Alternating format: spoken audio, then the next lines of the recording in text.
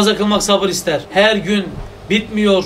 Tatili yok, hafta sonu yok, yaz tatili yok, efendim ara tatili yok, efendime söyleyeyim. e, hastalığı yok, ustalığı yok. Hastalıkta da kılıyorsun, sağlamken de kılıyorsun. Günde her gün beş vakit bir tane de değil. Sabır ister. Allahu Teala tam devam sebat istikamet nasip eylesin. Amin. Ramazanlar geliyor, sıcaklara çatıyor, millet tutmuyor. Sabredelim. Oruçlarımızı tutalım, tutmayanları güzelce uyaralım. Dini mümin İslam'ı kendi çevremizde, kendi ailemizde ayakta tutmaya çalışalım. Sancağı dik tutalım. Bizim orada bir laf vardır. Aç oturduğun yerde tok sallanacaksın derler. Kimseye belli etmeyelim. Eksiğimiz gediğimiz varsa da onurlu duralım. Mevla'dan isteyelim. Çalışalım. Alnımızın terini akıtalım. Ahireti gözümüzün önüne koyalım. Dilimiz zikirde, kalbimiz Mevla'da. Tabi kalp de zikirde. Asıl zikrin yeri kalptir. Dilden e, onun vesilesidir. Kalbimiz Mevla'da, elimiz işte, kalbimiz eşte yani Allah'ımızda. Sabredelim. Sünnet-i seniyelere sabredelim. Kadınlarımıza söyleyelim. Çarşaf-ı şeriflerine, tesettürlerine sabretsinler. Sıcak demesinler, kış demesinler. Millet orasını burasını açıyor demesinler. Sabretsinler. Vallahi nasrun minallahi ve fethun garib. Yardım Allah'tan gelecek ve fetih yakın olacak. Ve beşşiril müminin müminleri müjdele.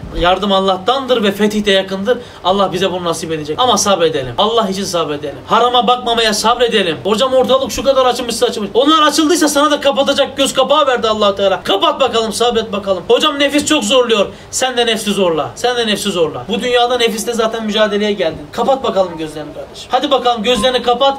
Allah'a dön bakalım Mevla ne kapılar açacak bize. Mevla en kısa zamanda açsın Rabbim.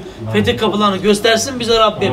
Hayırlı bir şekilde bu vatanı bu milleti dini mübini İslam'ın payidar olduğunu görmeyi Mevla bize nasip eylesin. Dışarıdaki bugün fitneler anlatmakla bitmez. Önceden açık kadın vardı, kapalı kadın vardı. Şimdi direkt ya tesettürlüsü var ya çıplağı var. Ortası yok. Çıplak ya bu açıklık değil ya. Bu çıplak karşım. Evde dolaşamazsın sen o halde. Erkek adam erkek adam evde dolaşamaz. Dışarıda o şekilde dolaşıyorlar. Bu büyük bir fitnedir yani. Bunu da şeytan yaptırıyor onlara ha. Şeytan yaptırıyor. Ayet-i kerimede Adem Aleyhisselam'la Havva validemiz cennet, cennetten çıkarılacağı zaman ne oldu çıkarıldığı zaman? Teri başları açıldı. Çünkü niye? Şeytan onları çıplak görmek istiyor. Bugün bu milletin karısını kızına şeytan soyuyor yani. allah Teala yardımcımız olsun.